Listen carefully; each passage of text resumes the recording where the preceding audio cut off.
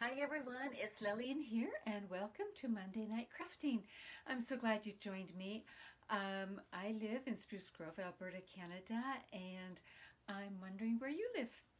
So um, I came across a, a, technique that was new to me this week and I'm going to be sharing it with you tonight. I have a few things I want to share with you first before I do that.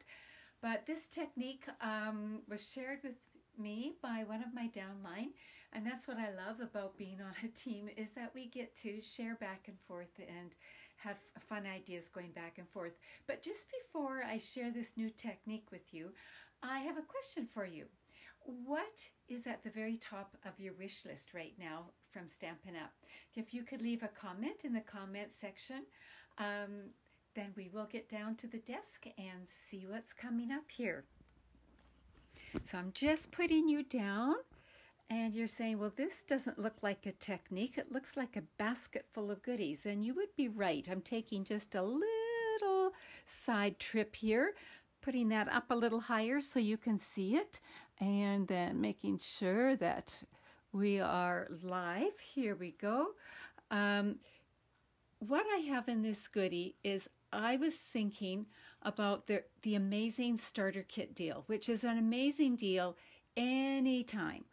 Um, but it is even more amazing right now. So I gave myself a little challenge. But just before I do that, I just want to see who's here. Sheila's here. Carolyn, hello, hello. Welcome.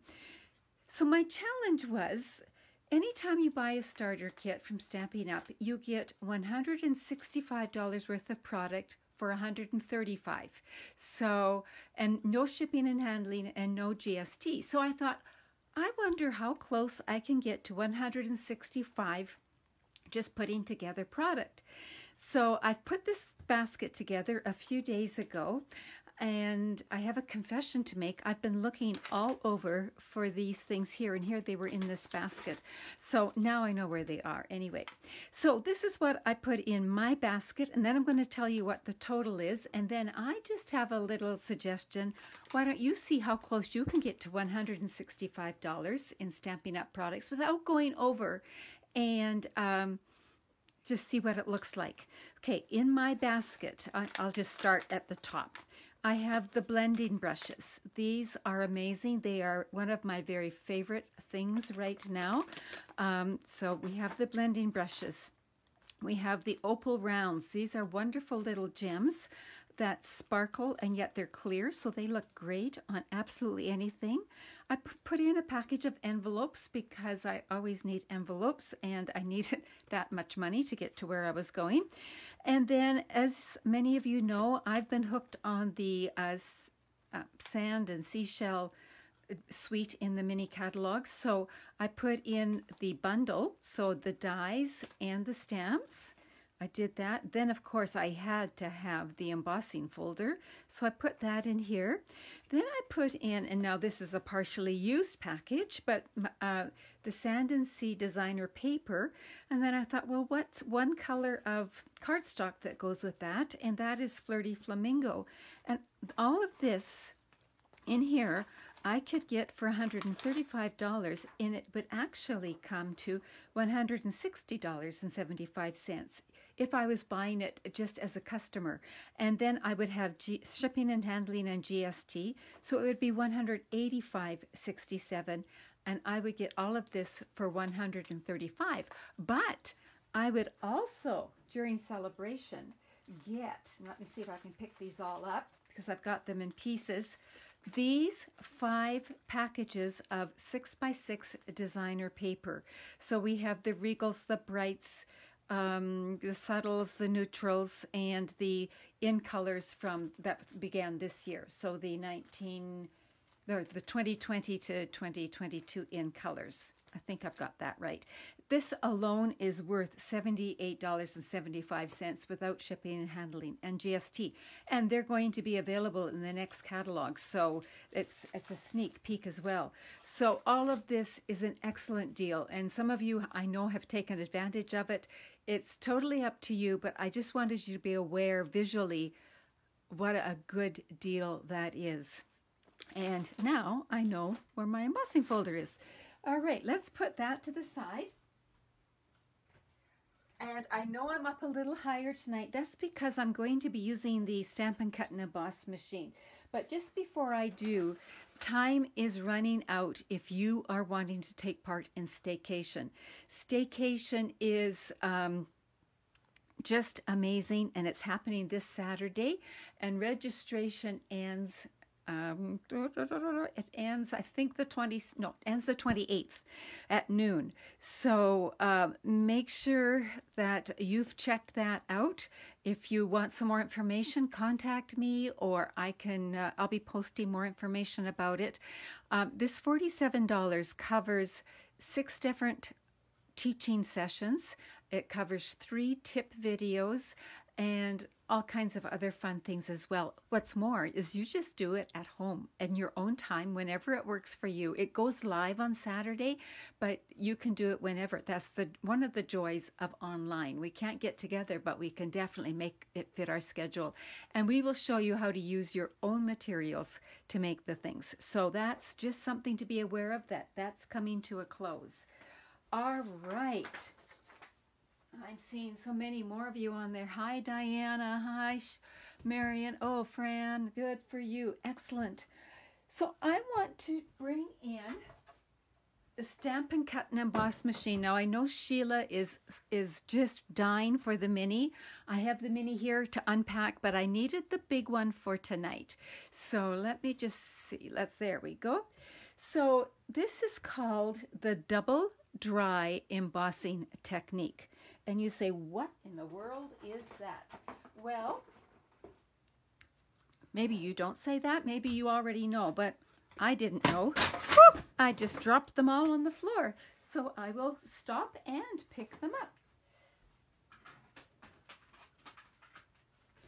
So the double dry embossing machine means that you would take one embossing folder that has, would be backgroundish, pardon me, backgroundish, and then one that has a design and you're going to end up doing both on one piece of paper.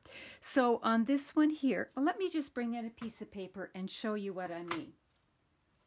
So I'm bringing in a piece of basic white and we've got that there and I'm going to start with the where is it? I'm going to start with the Tasteful Textile 3D. So this is a 3D one. I'm going to line it up in here and I love that they have these lines so I can get things straight. Some don't, it doesn't matter, but sometimes it does. So there we go, get that straight. Now because it's a 3D one, and it's a new 3D one. Uh, I have some old ones, so it's a little bit different, but we're going to put this on top. You might have a blue one or a gray one, but so it's just number one, the platform, and number four. So we're going to run that through.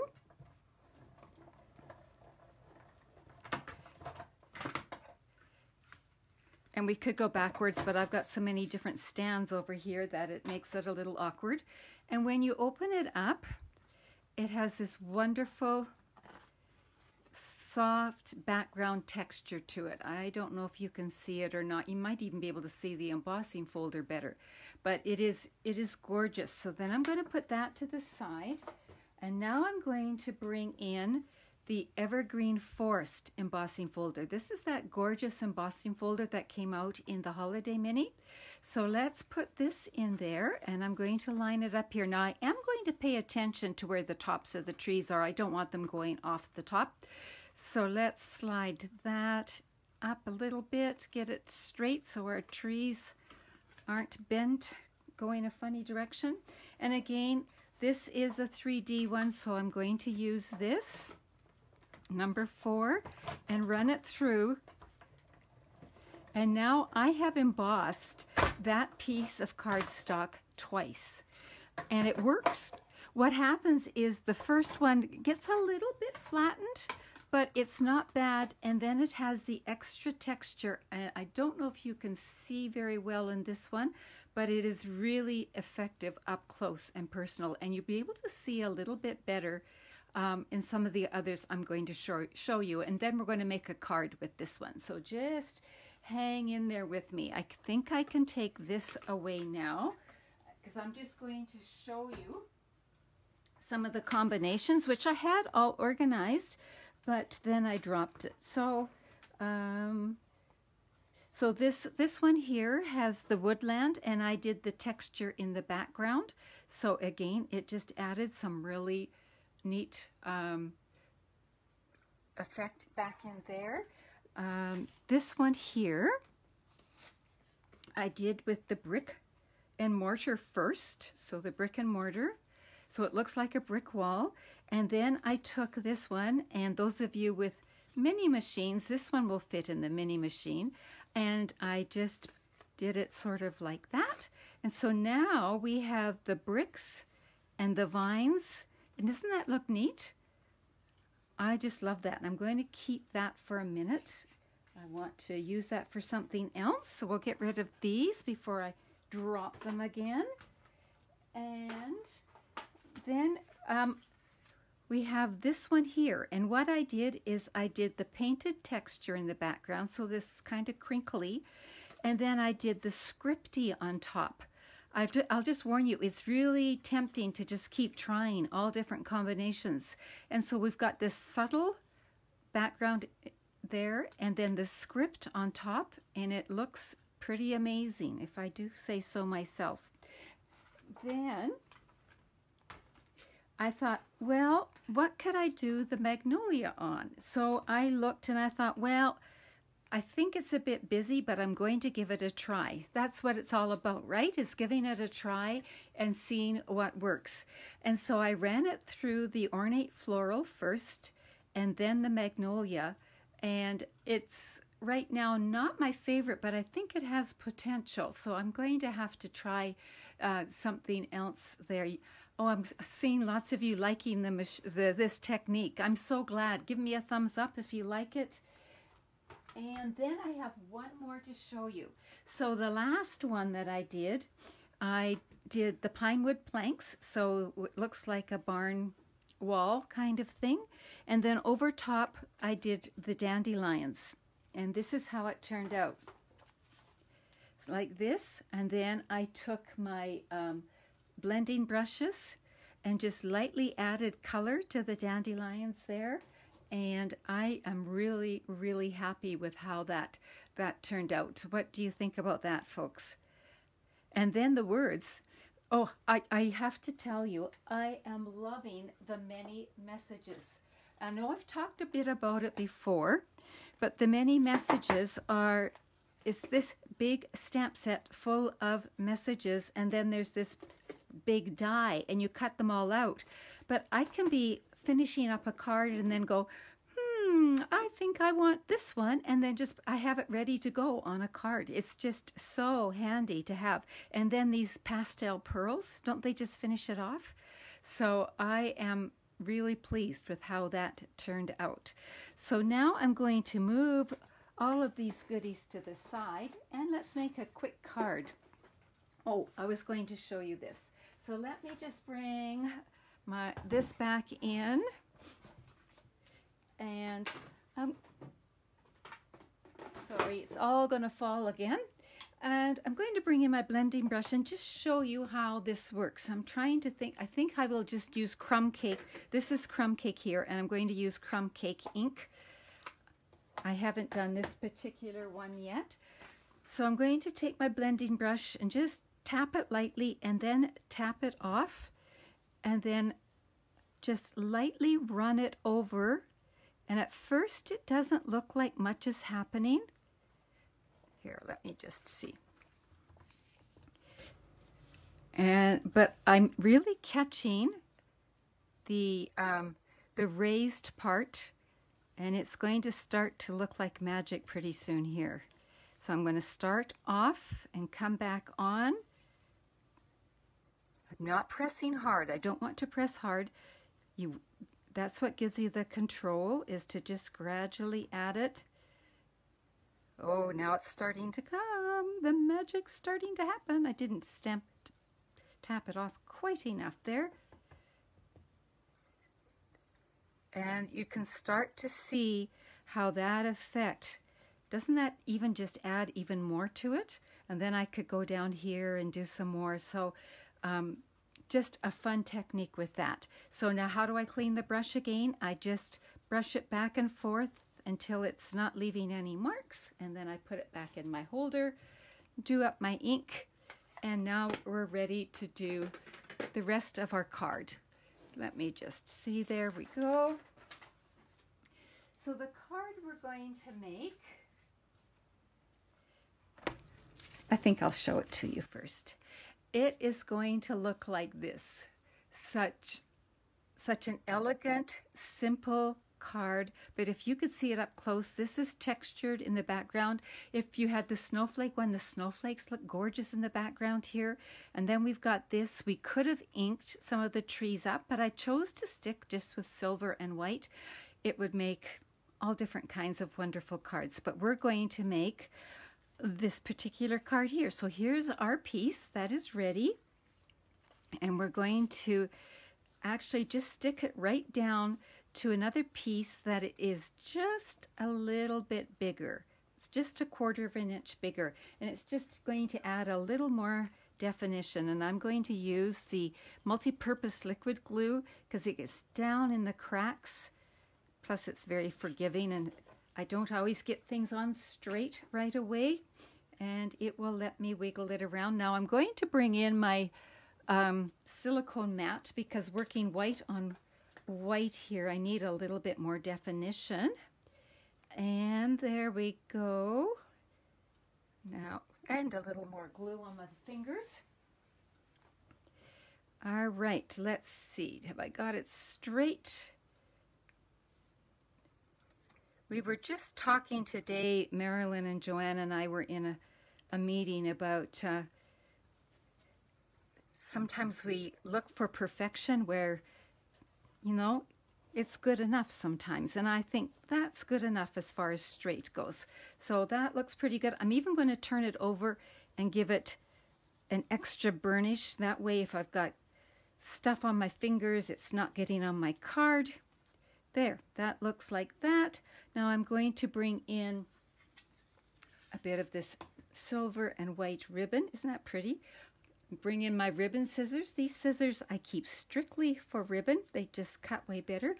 And then I am going to just wrap that around right now and get that part done and we'll fasten that to the card front. Whoops, I guess I'm fastening it to my fingers. And I think I want it about there. I've got glue dots everywhere but where they should be. We will do another one here. There we go. That looks pretty straight. So now we've got that done. I'm going to put this on dimensionals. So uh, in all the corners, and I always like to, when I have ribbon wrapped around, I like to catch that with a dimensional as well. And then we'll throw a few in the middle because we don't want saggy cards. There we go. Oh, and just before I peel that off, I should fold my card base. I thought I was all ready. I was so ready for the other part that uh, some of these things weren't quite as handy. There we go. So we'll peel these off. See how quickly this is coming together?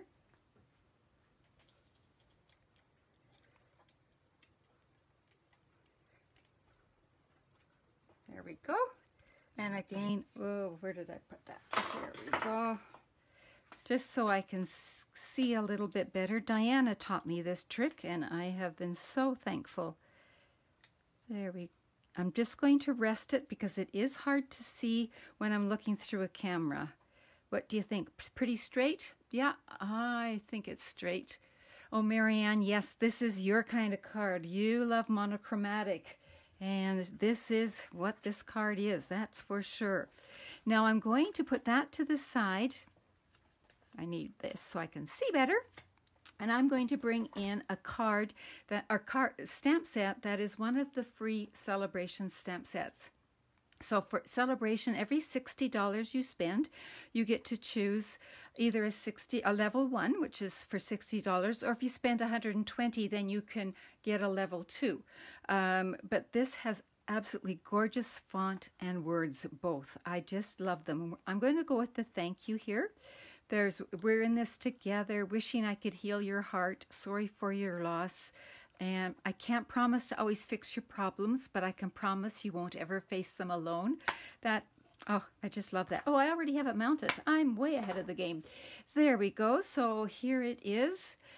You can tell that I got ready earlier today. Actually, I got ready last night and I had forgotten what I've done. So I am going to do silver embossing on this. So I'm using my embossing buddy. If you don't have an embossing buddy, even rubbing a Kleenex or um, dryer sheet, unscented dryer sheet works well. So I'm inking this up with Versamark ink. And if I was doing this in a class, we would all stamp it first and then cut it out. But because I'm doing this here, I wanted to be able to make this a little bit faster. So I cut it out first, which is always living dangerously, but it did work. So we'll put that to the side and bring in the embossing powder. And I like to keep mine, it comes in a little tiny container. I like to just put it in something like this so that I can have more room. Now, do you see that I've got a little bit extra there? Um, you can take that off either by using a little paintbrush or you can use the sticky end of your, take your pick tool, but that just means I caught an edge. So I cut the edge of the stamp and I can just take it off like that. You do want to get it off because if you emboss it, it's going to be there forever. And then you'll just have an opportunity to embellish, right? Those of us who've done that before know what that's all about. So now I'm going to bring the heat tool in, so it's going to be noisy, folks. Sorry about that.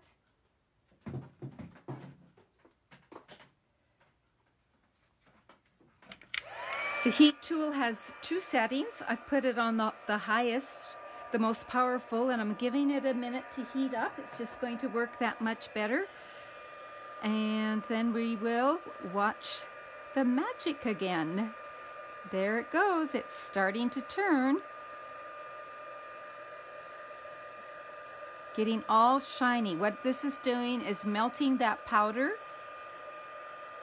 And I think we've got that. So now we're going to bring our card back in and I'm just going to make my plan. I like to make my plan before I stick things down. This is going to go about here and I, on this card here, instead of tying a bow, I just did a swoosh of ribbon behind it. I think I'll do the same thing this time.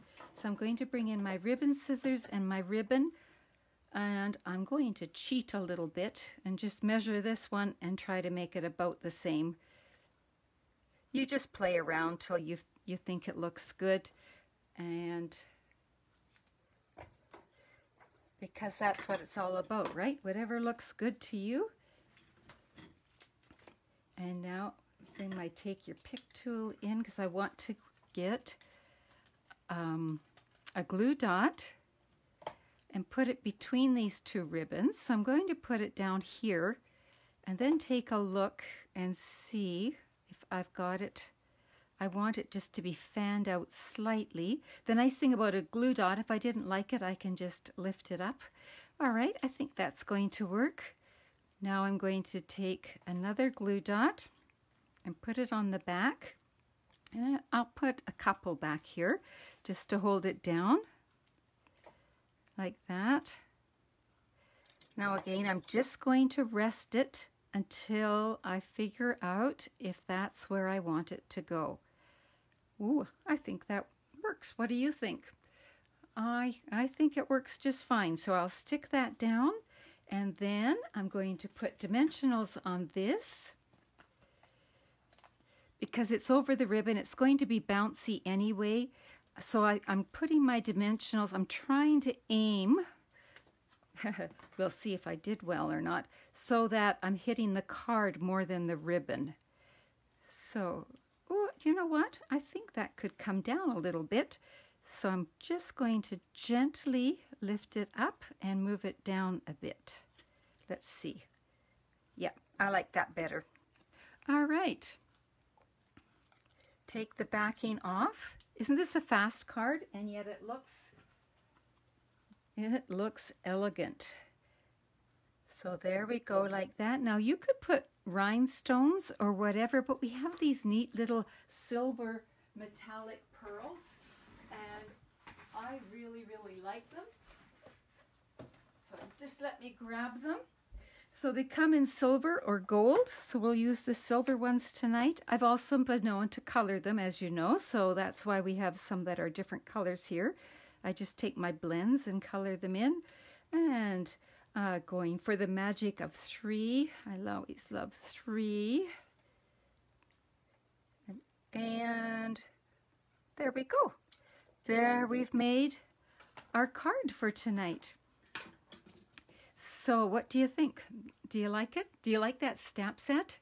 I see a few of you saying beautiful card. Thank you. Um, and how many are going to try this technique with the two embossing folders? I I would love to see what you do. So I hope you share because I think there's just so much potential there and you could do so many different things. So this is the one we made right now and then Oh, I don't know where I put the other one that I made with the dandelions, but you've got the idea. So there's a new technique for you. It's new to me, and uh, it's called the double dry embossing technique. And I have, once I heard about it, I did go on YouTube and I found a few there, but um, this it's basically this is what it is. So thank you to Lynn, my downline, for sharing it, and uh, thank you for coming and joining in. Okay, so oh. Are you going to try to hit 165 just for fun? You don't have to buy it, but it just for fun. That's a fun thing. And you want to know what the biggest, um, the most popular item in celebration is so far? Can you make a guess? You make a guess, and I'll tell you tomorrow on Facebook on this page. All right? Have some fun with this. Can't wait to see what you do. Thank you so much. Bye bye.